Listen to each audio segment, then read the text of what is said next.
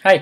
Altså, jeg ville bare veldig fort si en ting. eh, Fordi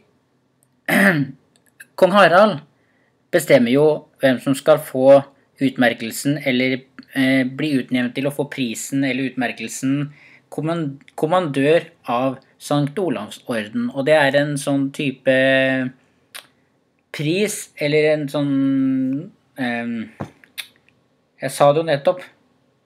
Uansett. Eh, at når noen har gjort noe spesielt, eller noe Når noen har eh, eh, gjort et arbeid som er verdt et en pris Det er litt nesten på samme måte som å bli sør i Storbritannia. Uansett, til hovedpoenget. Eh, den siste tiden så har bl.a. Trond-Viggo Torgersen, Ingrid Bjørnhov og eh, VG-fotografen som nylig døde av kreft, fått eh, utmerkelsen eh, kommandør av St. Olavs orden.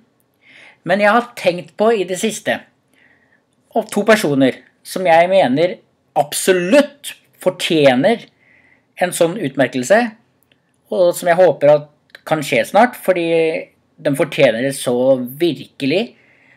Eh, og hvis de eh, De fortjener faktisk eh, priser og utmerkelser større enn det også.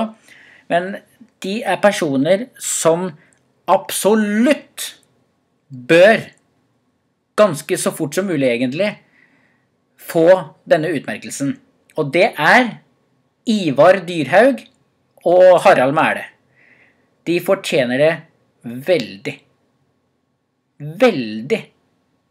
Absolutt. Jeg syns de burde fått en utmerkelse fra kong Harald. Det var alt jeg ville si. Eh, Men hvem syns dere, seerne, hvem syns dere burde få en pris eh, som dette? Skriv i kommentarfeltet under videoen. Takk skal du ha, og ha det bra.